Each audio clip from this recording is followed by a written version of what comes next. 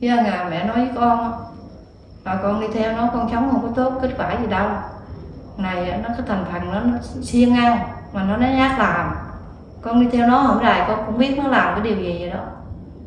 Đó giờ con á tẩy não chút con khôn con quay đầu về với mẹ tha thứ cho con. Này thua là cô à chứ con đi theo nó là con chắc có ngày mẹ tìm hiểu kỹ rồi. Nó nó sống một đứa nó sống chỉ có một tháng nửa tháng thôi. Nó ăn hết tiền hết bạc đó là nó quánh nó đuổi đi. Đó, thì mẹ nói với con vậy đó. Thì con tin á thì con quay về còn không tin á thì con ở với nó này sau này con sẽ hối hận. Với điều thứ hai nữa là nó gạt nó bán con qua campuchia là mẹ già rồi mẹ bằng không có tiền để mẹ chuộc con về đâu. Dạ con xin phép chào cô. Ừ. cô có thể giới thiệu cho con cũng như cho tất cả cô chú anh chị trên cộng đồng mạng được biết là cô tên là gì? Cô nguyễn thị cục. Cô cụt à, cô là quê quán ở đâu đây? Cô ở ờ, ở ở ngoài hẹp tân biên tây ninh. Tây Ninh. Hôm nay cô về đây nhờ anh em đội hình chỉnh người Thanh Hải Bình Dương giúp cô gì Chứ cô tìm với con con của cô họ tên đầy đủ là gì? Tên trương thị thúy văn. Trương Thị Thúy Vân ừ. em nó năm nay nhiêu tuổi rồi năm 89 tám chín là 35 tuổi rồi. Đúng rồi. tại sao mà cô lại đi tìm con? Là gì là nó có ờ, chồng nước ngoài. à, nó về nó nó chơi khoảng một tháng thì nó lên Facebook đó, nó quen Zalo hẹn hò vậy đó đã quen với này. Quen với này là khoảng ngày ngày 10 tây á, là nó có lên nhà một lần mà không qua nhà cô. Nó ở cái nhà bên kia. Rồi cái ngày ngày 11 tây thì nó không lên ngày 12 tây nó lên lần nữa. Đó, là nó xin nó nó không xin nó chơi cũng bên nhà bên kia luôn. Rồi cái nó đi uống cà phê nó nó chở luôn tới nay luôn. Là cô điện không có được con nhỏ này à, còn cái thằng đó đó là cô điện cũng không được luôn. Rồi khoảng mấy ngày sau cô mới điện nó được. Cô mới hỏi nó là mày chở ờ, dân đi đâu? Cho con tao đi đâu mà sao mà mới về? Nó mới nói với cô là con báo với cô ờ, với bác đó, là mấy ngày nay là thí dân ở nhà con. Nhưng mà hầu 6 giờ sáng này đó là dân kêu con chở đưa bến xe tây ninh rồi 6 giờ rưỡi sáng. Đó là giờ con nói với cô là trong khi nó ở nhà con á là tiền bạc vàng dòng là con phải chịu trách nhiệm. Nhưng mà giờ nó ra đi là con không có chịu trách nhiệm. Là rồi cô mới nói với nó là mày nói vậy là mày đã sai. Trong khi nếu mày là người thiệt thà đàng hoàng mày chở con tao đi về mày phải báo với tao. Rồi cô bây giờ con chở cái dân gì đây? Con trao mà con kêu nó về nó chưa chịu về. Còn nay mày chở về thì mày không báo. Bây giờ mày đưa đi thì mày báo với tao mày nói vậy là mày không đúng. Mày phải có trách nhiệm mày đưa về thì mày trả về cho tao. Mày chở con tao đi mày trả về con tao về nó nó nói thì nếu mà bác nói vậy thì để chiều đây tới chiều con liên lạc coi. Nếu mà có được thì con kêu điện về cho bác. Nhưng nó không điện về, nó không điện cho bác luôn là thằng đó đó. Chứ nhỏ này là chứ bác không điện được. Đó. cái đầu bác mới điện lại cho nó, bác nói, ủa, mày hứa là mày kêu nó điện về cho tao, mày sao tao điện nó không được? Thì giờ là mày có trách nhiệm mày mày trách nhiệm mày phải đưa nó đi rồi mày phải trở về cho tao. Chứ mày nói là mày không biết là mày không đúng nó nói là giờ con hứa với bác là trong 3 ngày nữa là con đưa dân về cho bác. Cô cho con hỏi là con gái của cô là lấy chồng nước ngoài là cụ thể là nước nào cô? Trung Quốc. Lấy chồng lâu chưa? Là năm năm mấy rồi. Tháng 10 này nữa là 6 năm. 6 năm? Ừ. có có các con chưa cô? Không có con. À, nhưng mà vợ chồng ở họ vẫn hạnh phúc. Có đăng ký kết hôn không cô? Có. Vậy là lần này con gái nhà mình là về nước là về để chơi thăm cha mẹ thôi đúng đúng không? rồi về thăm cha mẹ. Vẫn còn ở với chồng đúng không ạ? Vẫn còn ở với chồng rồi cái cô mới nói vậy. Cô mới nói là tao kỳ hẹn cho mày bao nhiêu ngày? Giờ mày hẹn đi mày chở con đi về cho tao. Nó mới nói là ba ngày. Thì trong ba ngày đó sao? Cô cho con hỏi là lần này về là có một mình con gái cô hả? Đúng rồi. Còn con rể không có về hả? Không mới về. Về dự tính là chơi gia đình lâu không? Tháng à. Một tháng rồi lại tiếp tục qua Trung Quốc tiếp. Đúng rồi qua Trung Quốc tiếp. Vậy là về đến Việt Nam được bao nhiêu ngày thì con gái của mình quen cái thanh niên trên mạng? Cỡ cỡ tháng mấy ngày về nhà Việt Nam mình là chơi một tháng cơ mà đúng không? Ờ. vậy là một tháng mấy mới quen thanh niên trên mạng? Tháng mấy ngày là quen thanh niên này trên mạng hò hẹn vậy đó. Ủa, ủa mình, mình, mình con gái nhà mình chưa có đi qua Trung Quốc hả? Chưa đi. Lại rời lịch lại hay như thế nào không nó ờ, quen nó trên mạng á. Không ý con biết rồi. Ừ. về Việt Nam chơi một tháng. Ừ. nhưng mà được bao nhiêu ngày là quen thanh niên kia? Là hơn một tháng là quen hả? hơn một tháng. Vậy là cái lịch qua Trung Quốc lại mình để rời lại hả ừ không có nó có giấy kết hôn nó mất đi rồi nào đi. À dạ. Ừ. vậy là quen trên kia là quen trên mạng xã hội. Quen mạng xã hội quen hẹn hò vậy đó. Ừ. Đó. sau khi à, con gái nhà mình có chồng thì mà sao lại lên đấy hẹn hò chi hả cô? Thì bởi vậy mình mới mới mới la nó cô mới la nó. Có nói cho cô biết không? Cô biết cô nó không có biết chữ.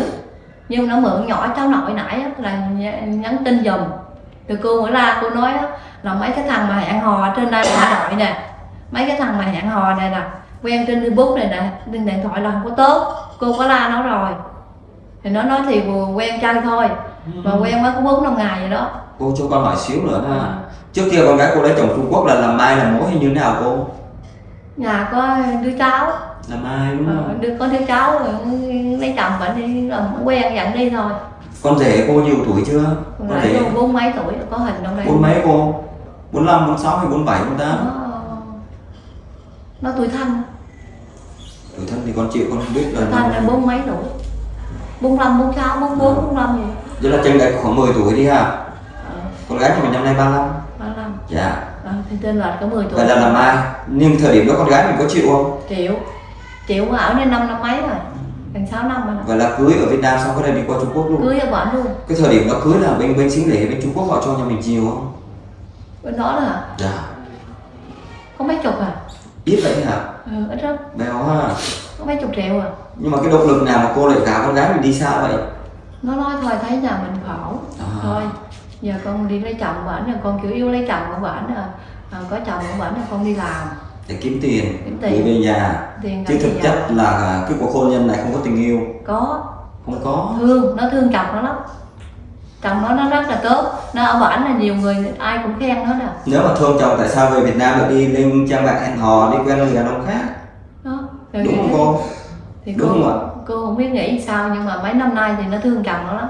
Cái này nè cái này là thật ra là con gái của cô vì thấy gia đình nhà mình có thể là hoàn cảnh khó khăn thứ nhất là muốn lấy trong Trung Quốc để có một cái gọi là cái sinh lễ hoặc cái hồi môn nào đó. Đó là cái thứ nhất. Cái thứ hai là có thể qua đấy để đi làm công việc kiếm tiền để gửi về nhà đúng không ạ? Để phụ giúp ba mẹ. Gọi là có thể là thời điểm đó con gái chấp nhận là hy sinh thanh xuân hy sinh bản thân để để để để để để lo cho cha mẹ cô có nghĩ vậy không? Khó nhưng mà con theo con nghĩ là con gái nhà mình lại không có tình cảm đâu. Cái này Ừ. yêu cho có thôi. Năm nào cũng dẫn chồng về hết à. Ừ, rắn là việc rắn chứ. Chứ nếu mà con gái cô mà yêu chồng thương chồng thì tại sao lại còn còn còn về lên mạng đi hẹn hò với người đàn ông khác? Đó là cái điều mình thấy là vô lý rồi đúng không ạ vậy là về hẹn hò là cũng cho cả gia đình biết luôn. Không có hẹn hò là chỉ có mình cô biết thôi vì cô ngủ chung đó. Cô có thấy nói chuyện yêu đương không? Có. Nói sao cô? Thì thằng đó nó nó nói với nó là nó còn để cho nó còn chồng nước ngoài. Chồng nó định mua vé đi bệnh cho nó. Rồi cái thằng đó khóc.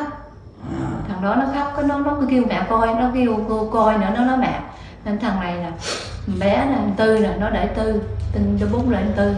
Nó nói mẹ thấy tư không nghe nghe con ờ, chuẩn bị đi về bệnh cái nó khóc.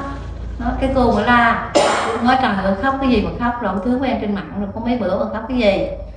Cái xong cái cô mới la la cái biết giấy kết hôn. Với chồng nó không có được đâu cái nó mới nói anh không có cần giấy kết hôn đó. yêu cầu sống với anh là được rồi. Nói vậy. Cái thanh niên đó là một cái thanh niên gọi là phá vỡ gia can hạnh phúc người khác. Đúng rồi. Bởi vì cái người à, con gái của cô đã có gia đình có giấy kết hôn trên luật pháp rồi mà người đàn ông này một người đàn ông thanh niên này là chưa có vợ hả cô hay có rồi? Là cô á là cô đi á xác minh đi với cái xã cho nó ở. Dạ. Là người ta nói là thằng này nó không có vợ. Ừ. nhưng mà cái nó đi ờ, quen ở trên, trên dạ, hẹn hò đó đó. Cái đứa nào có tiền có vàng cái đêm về nhà nó nó ở ở khoảng chừng tháng nửa tháng là chân nhiều cái nó ăn hết tiền hết giờ cái nó quánh quánh dữ lắm quánh cái nó đuổi đi. Đó. Cái đứa con khác về nó vậy thôi. Gọi là cái thành phần này là cái thành phần cứ quen được dăm bờ nửa tháng. Đúng nó rồi. vào nó rút hết tiền. Chứ nó ăn hết rồi nó ăn cả thể xác lẫn tiền bạc. Sau đó là nó lại đẩy ra nó lại kiếm con khác đúng rồi. Vậy con gái nhà mình ngu mê chi hả? Thì đó ngu đó bởi vì giờ bây giờ cô muốn đi tìm kiếm mà cô nói như vậy nè. Bây giờ nó chấp nhận nó thương con này. Thì nó ra nó làm nó hay hòa hẹn nó hẹn với cô hay sao? Ví dụ cái cái cái khoản mà kết hôn á là cô không dám nha bị vì nhỏ này nó còn chồng kết hôn sau này chồng nó về quậy là cô không có biết cái khoản đó. Mình cô mình không có ủng hộ cái này được. Cô không ủng hộ cái khoản đó. Còn cái khoản thứ hai bây giờ nó dẫn con cô đi mà tránh nó nó tránh né nó nó nói không có. Thì bây giờ cô muốn á, lên đây á, là đem nó về nó phải viết với cô. Ở giờ nó yêu thương con này nó phải viết một tấm giấy tay nó phải bảo lãnh con này con này có chuyện xảy ra nó phải chịu trách nhiệm. Để nó ở một tháng hai tháng cái xong cái nó nó quýnh hết tiền hết là dài cái thanh niên ở đây hả? Ờ biết gì ạ cô? Hả? Biết để làm gì? Nó nó quýnh nó đuổi cái này không cái này mình tuyệt đối mình nghiêm cấm luôn. Đó. bởi vì con gái nhà mình có chồng rồi mà có giấy kết hôn mà. Thì đúng rồi. tại sao mình làm vậy ý được là cô là cô muốn là kêu nó ra là nói với nó như vậy. Cái Thì thanh niên thanh niên kia là tên là gì cô? Ờ, đào đào văn phân quê quán ở đâu ở tê, ở ờ, ở tê, tinh thành phố Tinh Ninh ở ờ, cùng tỉnh ha. cùng tỉnh ở ờ, ở xã Bình Minh. Cô đã gặp ở ngoài chưa? Gặp rồi tới nhà rồi. Tới mấy lần rồi cô? Cô tới chỉ có một lần thôi nhưng mà mấy người ở tao biết á người ta quen biết tao nói cô đừng nên tới nhiều thằng này nó mất dạy nó nó quýnh cô á. Cô tới là hôm đấy có ăn cơm ăn nước nhà mình không? Không cô không cho không có cho xưng hô với cô như thế nào? Kêu cô mẹ cô nói mày đừng kêu tao bằng mẹ luôn hả? Cô nó kêu bằng mẹ nhưng mà cô nói thẳng vào mặt nó cô nói mày đừng kêu tao bằng mẹ. Vì tao có con tao có rể rồi. Mày á mày kêu tao bằng mẹ mày rể tao về chửi tao không được. Cái đó là mình đến là mình đuổi thẳng ra nhà Ừ, luôn. ừ, thẳng khỏi ra nhà đúng luôn. rồi cô nói vậy đó. Con gái của cô có nói với cô rằng là muốn quen anh này lấy làm chồng không? Không nó nói là là chỉ nó quen trai thôi. Quen chơi hả? Ừ, nó nói con mà nhưng mà con cô là là, là yêu thanh niên này ở cái điểm gì mà yêu mù quáng vậy? Nó yêu chỉ có chừng 5 ngày thôi. Đẹp trai không? Không. Cao giáo không? Trong hình có. Tí con xem. Đó. ý theo như cô nhận xét nó cái thanh niên này á. tướng cũng vừa vừa thôi nhưng mà nó ở trong hình thì thấy nó đẹp chứ. Ở ngoài thì nó cũng xấu cũng đen. Cái thanh niên này với con rể cô chấm ai là người được hơn? Đẹp hơn rễ đẹp hơn nhiều. Đẹp hơn đúng không? Rễ cô tốt nhưng hơn. Ờ, tuy là già nhưng mà rễ cô đẹp hơn rất là nhiều. Từ đạo đức tới con người đều tốt đúng rồi tốt. Rễ cô tốt lắm hôm nay điện về khóc hoài ai rễ Biết chưa? hoài. biết rồi cô nó không biết nhưng mà cô nói giờ nó đi đâu mất tiêu rồi mẹ không biết. Ôi trời đất ơi vậy là cô nói hết rồi hả? Thì cô có nói giờ nó đi đâu mất tiêu cô không biết nữa Ừ, xong luôn rồi. Thế con rể có dự tính là bắt máy bay về Việt Nam không? Thì cô cô không biết làm sao nữa đây. Cái này tội nghiệp người ta lắm. Đúng rồi. Người ta người ở đâu thì người cũng có người tốt người xấu. Mình làm như vậy mà cái người mà yêu thương con gái mình thật lòng và tốt như vậy á làm vậy tội nghiệp người nó ta. có cho tiền nhiều lắm. Là nó mua vàng cho nhỏ này đeo á trong mình là cỡ cây hai vàng không bốn của nó mãi là nó gửi tiền về á, là trong khi con nào nhỏ này về á, là nó đưa một 62 triệu. Là chính tay thằng em nó đi rút cho nó. Thì sao nữa nó kêu tao gửi nữa là cái thằng thằng chồng nó gửi về cho nó 500 nữa 5 ngàn. 5 ngàn nữa là 17 triệu 500 nữa con rể của cô có tốt với gia đình nhà mình Tốt. lo nhiều không ạ? Lo. Có cho nhiều tiền bạc không? Cho tháng nào cũng gửi tiền thì cho. Gửi nhiều không cô? Tháng gửi năm sáu mươi triệu nữa. vậy là ngon rồi. Ừ. đúng chưa? Đó. rất tốt mà tại sao con gái nhà mình về Đúng thăm nhà mà để đi làm một cái chuyện mà thật không thể hiểu nổi ha? Bữa đó thì nó nó cũng có nói với cô. Nó nói là con đi chơi vài bữa con về. Nó dốc á. Con gái hả? Ừ. con gái nhà mình tính tình ngoan không thì cũng ngoan ha cũng được. Ngoan? Mà mà sao biết là đúng rồi sao chứ được. thấy là, là cha mẹ nào về đây tìm con cũng nói con thì tôi ngoan lắm. Ừ. ngoan thật. Thì ngoan đó ngoan mỗi bỏ nhà đi. Ngoan mà ngoan thấy sợ luôn. Ngoan thấy sợ vẫn ngu ngu bỏ đi vậy đó. Cô Dạ. làm mẹ là cô không bao giờ mong muốn cái chuyện đó xảy ra. Đúng không? nhưng mà tới giờ phút này là cô bất lực chưa? Bất lực rồi đó. Bất lực. Bất lực mới xuống đây nhờ anh em ờ, hiệp sĩ ở đây mình là mình có chồng rồi. Nếu mà mình muốn đến người đàn ông khác thì mình phải chấm dứt bên kia đi. Ờ, đúng không ạ? Đúng rồi. mình ra tòa ly dị đi chấm dứt bên kia đi rồi mình muốn yêu ai thương ai. Còn mình mà đang còn chồng mà mình đi dối lừa như vậy tội nghiệp người ta lắm. Hồi tối này là là là, là, là cô có liên lạc với cái người ở gần nhà nó đó. Là hồi tối này là là hai đứa nó về nó nó quýnh người ta người ta đang thương ngoài xã. Ai quấn cái thằng đó đó. Thằng mà dẫn con gái mình đi hả? Ừ, quýnh cái bà ở gần nhà nó đó. Nói là nói là cô nói cái bà đó đi học với cô. Nó nó quen đứa chừng tháng hai tháng nó ăn cái tiền nó thằng nó côn đồ lắm hả? Hả? Ừ đúng rồi nó côn đồ. Sao con gái mình quen chi thì đó mới không biết hay sao không hiểu. Ừ, con gái nhà mình đi là mang theo những thứ gì đi cô? Mang uh, vàng 24 là vàng 24 là chồng nó sống ở bển là cỡ cây hai vàng 24 trời đất ơi còn còn còn mà tiền á, là chồng nó cho nó gửi về đây là nó sống là gần cây vàng 18 với 12 triệu. Đó. Một cây vàng một cây hai vàng à, bốn số chín. Đúng rồi với lại một cây vàng 18 cỡ một cây tám với lại là 12 triệu. 12 triệu là bữa cô có hỏi thằng đó. Trời đất ơi. Cô có hỏi thằng đó là cô ghi âm lại trong điện thoại á. Dạ. Kêu thằng con nãy ghi âm cô hỏi chứ là trong khi thí dân đi xuống dưới á là bao nhiêu tiền bao nhiêu vàng mày biết không? Nó nói biết. Nó nói là thí dân đưa cho con giữ 12 triệu. Vậy là ngày đi là cái thanh niên này chở con gái mình đi. Chở đi. Đi bằng xe gì cô? Đi ờ, trong giấy là cô không có xe máy đúng không ạ? Xe Honda xe Honda xe Honda có hiệu có sổ số luôn. Dạ rồi tí cô cung cấp cho các con nha. Ờ, vậy là chở đi. Ừ. cụ thể là ngày nào? Ngày 12 tây. Ngày 12 tây của tháng 7 tháng 7 mà hiện tại hôm nay là ngày mùng 3 rồi tháng 8 rồi. Lâu- trời đất ơi! Vậy là lâu vậy rồi hả? Lâu rồi mà cô á, là coi trên cái cái cái cái, cái của hiệp sĩ đây nè anh Hải á. Là cô có tính kêu thằng con chở đi mà thằng con nó nói là xa quá không biết được không mẹ. Đó. là hôm nay cô cũng đi kiếm đi tới vậy là xã 21 ngày trời đấy hả? Rồi cô có đi xuống tái xã của nó luôn rồi vô tới của nhà nó ở luôn. Đó. bây giờ 21 ngày trời cô có liên lạc được cho con cô không? Không không liên lạc được luôn. Không liên hệ được luôn? Luôn cô báo công an chưa? Báo công an công an nó nói anh nhỏ này nó lớn rồi nó đủ tuổi rồi. Dạ. Ừ. vậy bây giờ là không biết tin tức của con cô Không biết đâu. tin tức mà thằng này thì nay nó cắt luôn rồi cái- cô đã xuống nhà thằng kia chưa? Đúng rồi. Nó nói sao? Không gặp nó nhưng mà nó trốn hả? Nó trốn nhưng mà cái gì trong điện thoại của nhỏ này nó xóa hết luôn rồi rồi sao? Của, của nó nó cũng xóa luôn rồi rồi xong hiểu luôn rồi nó tới công chuyện nữa luôn rồi Đó. là cái hình là cô chụp được á là bữa đó là nó kết bạn zalo với thằng con. Này trách ai bây giờ đây? Cái cô cô mới à, cô mới kêu nhỏ nhỏ cháu nội á ờ, con chụp hình cho bà nội đặng lấy qua đặng đi lên làm cái hình cho nó. Thì vừa chụp hình giác sáng giác chiều nó xóa luôn nó xóa hết rồi nó không có này à, một phần cũng trách con mình cô ạ đúng rồi. Đúng con mình cô ngu á. nhưng mà đi đâu đi cũng phải điện về cho cha mẹ. Cái này con nhà mình đi đem rất nhiều tài sản và đặc biệt rằng cái thanh niên này cô chia sẻ rằng thanh niên này ba trợn ba chạo không ăn chơi đá gà cá cá. Thì ba trợn ba chạo đấy ừ, đúng rồi. Ừ, nó không biết không biết ý đồ gì với con nhà mình đặc biệt con nhà mình trên người rất nhiều tài sản. Sẽ gặp có thể là gặp những cái điều mà không hay xảy ra. Không cái thằng con hồi nãy nó có điện nó có nói vậy là mấy bữa nó có điện được nó nói anh ơi. Thôi giờ anh vợ anh nói anh là đàn ông tôi cũng là đàn ông tôi cũng hai đời vợ rồi. Nhưng mà chị tôi là gái có chồng có kết hôn. Anh quen chị tôi không được gì đâu. Chị tôi gái có chồng kết hôn. Thì coi anh buông tha chị tôi đi anh kiếm người khác đi. Nó nói cả gia đình của nhà mày á, mày biết chị mày ra ngoài sống kêu sao? Nói vậy. Cái thằng này nó nói sống sao là sao ai biết nó nói đâu nó nói vậy mình không biết đâu cái thằng này nó mới trả lời nó nói anh nói câu nói đó là anh nói bậy đó anh hỏi với ba mẹ tôi đó. Câu nói đó anh nói tôi được chứ anh quên cả gia đình tôi là nó bậy. Bây giờ cô đang sợ nhất điều gì đây? Sao chứ? Cô đang sợ nhất con cô gặp điều gì? Cô đang sợ nhất là nó khi nó ăn hết tiền hết bạc á là nó quánh con cô nó đuổi đi thì cái đó cô không nói và con mình nó còn đường về.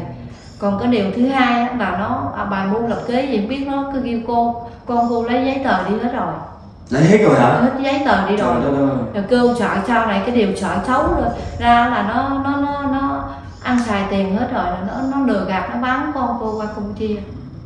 Sợ ha. Sợ điều đó. Cô hãy nói một cái điều gì đó tình cảm nhất với con gái của cô. Hy vọng con gái của cô xem được video này. Sớm thức tỉnh để quay trở về đoàn tụ cùng với gia đình. Cô tâm sự với con cô đi. Ra ngà mẹ nói.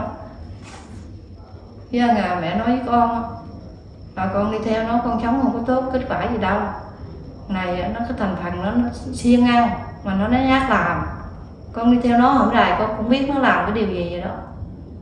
Đó giờ con á tẩy não chút con khôn con quay đầu về với mẹ tha thứ cho con. Này thua rồi cô ha chứ con đi theo nó là con chắc có ngày mẹ tìm hiểu kỹ rồi. Nó nó sống một đứa nó sống chỉ có một tháng nửa tháng thôi nó ăn hết tiền hết bạc đó là nó quánh nó đuổi đi. Đó, thì mẹ nói với con vậy đó. Thì con tin á thì con quay về còn không tin á thì con ở với nó này sau này con sẽ hối hận. Với điều thứ hai nữa là nó gạt nó bán con qua campuchia là mẹ già rồi mẹ bằng không có tiền để mẹ chuộc con về đâu. Cứu sao nổi được? Sao mà cứu không nổi. Già rồi bằng không có tiền sao cứu nổi con gái của cô năm nay con nói thật luôn là năm nay 35 tuổi không phải là một đứa nhỏ 17 18 tuổi mới chậm chậm đi lấy chồng. Mà như vậy con của cô đặc biệt rằng đã lập gia đình năm sáu năm trời rồi. À, mà tới giờ phút này mà khi về Việt Nam thăm gia đình mà đi lên mạng đã có chồng mà lên mạng đi quen biết hẹn hò với người đàn ông khác thì cái điều đó không ai chấp nhận. Đặc biệt cô là mẹ cô cũng là một người phụ nữ. Cô cũng đã cô không bao giờ chấp nhận được cái chuyện đó. Cô rầy đó hàng đêm luôn nhưng mà tới giờ phút này thì chưa hiểu cái tình cảm mà con của cô dành cho cái thanh niên này là như thế nào. Đôi khi thì có thể là qua bên đó thì sống với cái người đàn ông có thể là thiếu thốn cái tình cảm hoặc như thế nào đó vợ chồng có thể có chuyện gì đó. Chỉ có người trong cuộc thì mới hiểu được thôi. Khi về tới đây hoặc có thể là gặp cái thanh niên này thanh niên này nói những cái lời ngon tiếng ngọt rồi là động lòng rồi nhiều vấn đề xảy ra thế mới có cái tình chuyện cái, cái, cái, cái tình trạng mà con nhà mình chấp nhận là ôm hết tài sản cũng như giấy tờ để đi theo thanh niên này. Đi hết luôn giấy tờ. Đó là cái điều thật sự đáng tiếc. Hy vọng rằng là em gái xem được video này thấy mẹ của em về đây nhờ các anh các chú đội hiệp sĩ thanh hải bình dương đi tìm em thì em đang ở đâu đó. Xem được video này sớm thức tỉnh quay trở về để đoàn tụ với mẹ. Nếu tới giờ phút này mà em chấp nhận và em cam chịu và em vẫn yêu thương thanh niên kia thì em cũng phải về đặc biệt về để làm rõ ràng hết tất cả mọi chuyện. Thứ nhất bản thân em đã còn chồng mà chồng là chồng bên Trung Quốc, có hôn thú đàng hoàng thì em không còn thương chồng nữa thì em cũng phải làm rõ vấn đề và giải quyết rất khoát. Rồi sau đó em yêu ai, thương ai là quyền của em. Bởi vì em 35 tuổi, em lớn, em trưởng thành thì em biết suy nghĩ rồi, em không phải là một đứa trẻ nữa. Mẹ em thương em, lo cho em thì mẹ hôm nay mới cất công đi từ tây ninh để về đây một chặng đường rất xa. Có thể những cái điều này là điều cuối cùng mẹ làm cho em.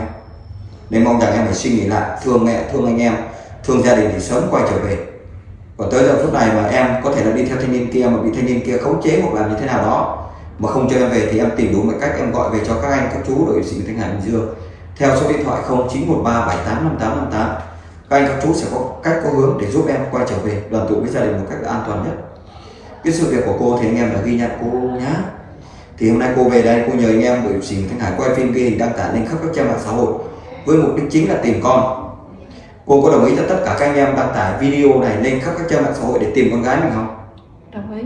Toàn bộ thông tin cô vừa chia sẻ có đúng cái sự thật không? Đúng sự thật. Nếu sai. Hoàn toàn chịu trách nhiệm. Trước đúng. Trước pháp luật cô trước pháp luật. Dạ thưa cô chú anh chị thì nếu cô chú anh chị có thấy em gái như trong hình ở đâu làm ơn liên hệ về với số của đội hiệp sĩ Nguyễn Thanh Hải Bình Dương theo số điện thoại 0913 785858 để em đội hiệp sĩ Nguyễn Thanh Hải à, khuyên em gái này sớm thức tỉnh còn thương chồng cũng như là thương gia đình sớm quay trở về để đoàn tụ với gia đình một ngày gần nhất. Là rồi con xin phép chào cô. Em cũng xin phép chào tất cả cô chú anh chị à, trên con của mạng hẹn cô chú anh chị ở những video tiếp theo.